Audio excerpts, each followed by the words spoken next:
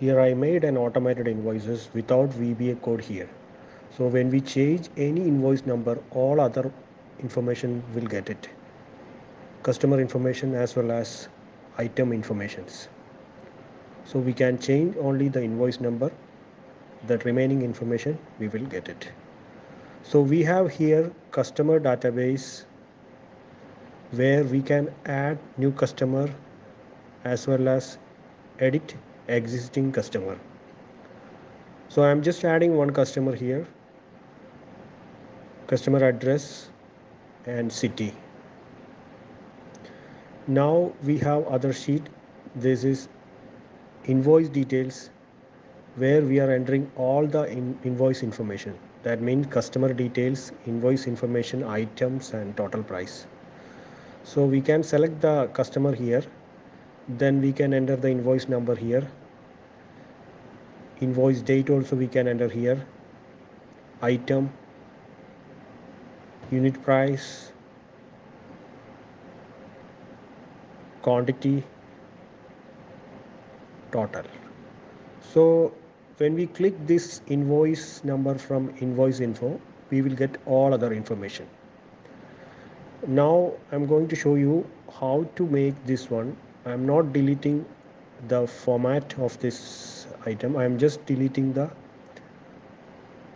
formula only. Just I am showing here what are the formulas I am using here in order to make this type of invoices. Invoices format you can make in your own way. You can add other additional column. You can make a message invoice tax invoice proforma invoice that is. You can make your own choice. So I'm deleting everything every formulas here and adding new formula here.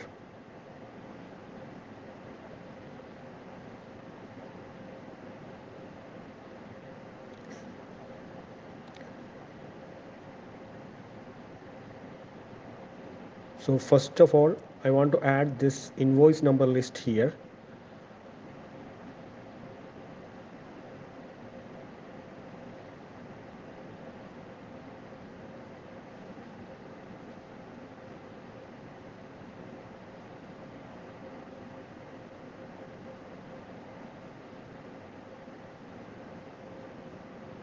to add this invoice list here I am using here unique function unique open parenthesis invoice number starting from D2 row. I'm D2 row till I am using here uh, 500 rows. For if you want to enter new records it will be useful. That you can make 100 or 1000 up to you. So I'm here adding 500 rows for the new invoices also. So just adding this closing the bracket. So we will get here the unique invoices only. So I am adding this in the data validation list. First invoice number hash click OK. Now in the data validation we can see all the invoices available. Now I want to get the invoice date when we change the invoice number. I am using here VLOOKUP. And lookup value is the invoice number. And lookup array is the invoice column in the invoice details sheet. So going to invoice detail sheet I'm just using invoice details as well as invoice number and invoice date. These are the two columns.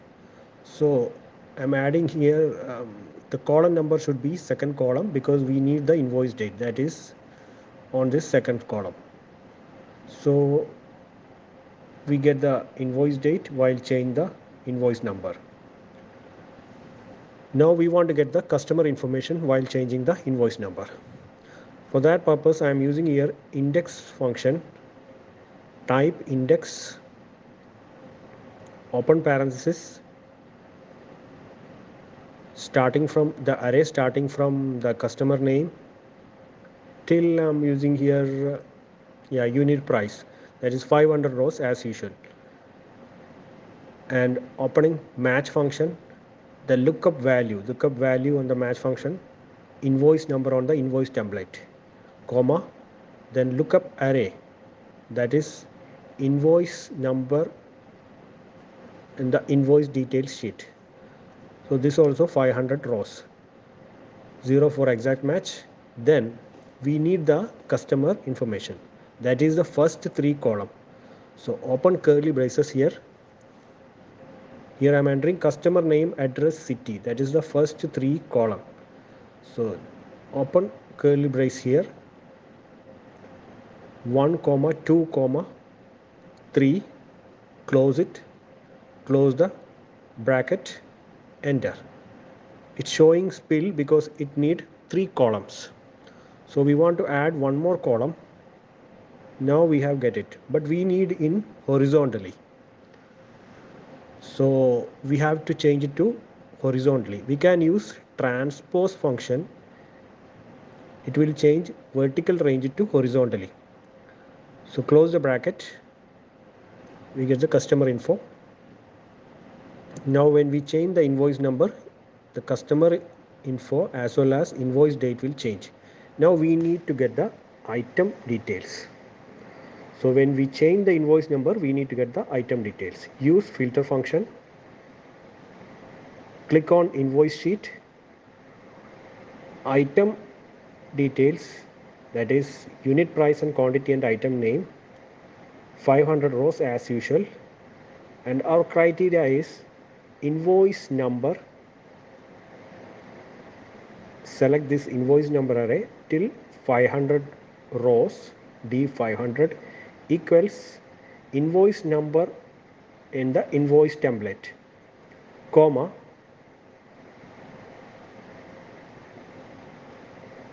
close the bracket. Now we have get invoice number customer information item information. We just multiply unit price multiply quantity just drag it. Now we need to get the sum of this total price. So just drag this d9 to d19 tax i'm using here tax as 5 percentage. You can change when you make up to your preference tax or vat or gst so that net total multiply 5 percentage net total multiply 5 percentage that is tax. Then gross total means net total plus tax. So I forgot to change this uh, I forgot to change tell you the multiple color how to get the multiple color from here for the rows invoice rows. So go to conditional formatting. I'm just removing the last one. Delete this uh, rule. Apply and ok select this part. Click conditional formatting. Click new rule. Use formula to determine which cells to format. So is even. Is even rows. Only even rows need different color. Click format. Here I'm choosing this color. Click OK. Click OK. We have found an error just we want to fix this error. Click format again. Still having problem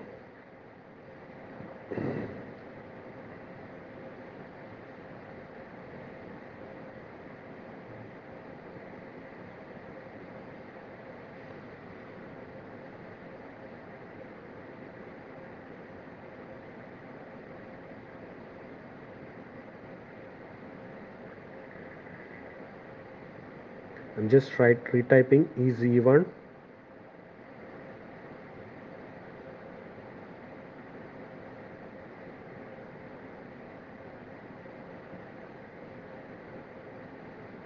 so I'm just removing this formula all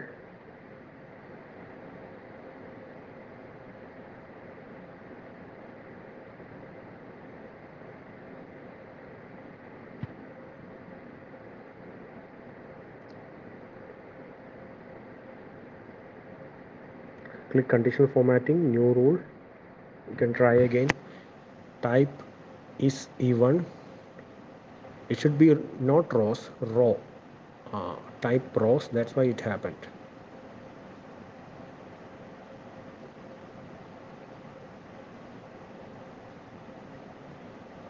Yes. We need to change it to row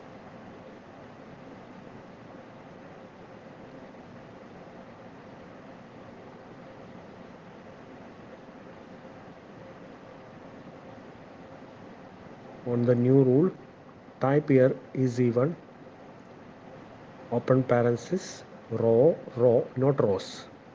Close it. Select the color to fill. Click ok click ok. So I forgot to add here the equals. So click new rule again. Remove this remove this. I hope it will work.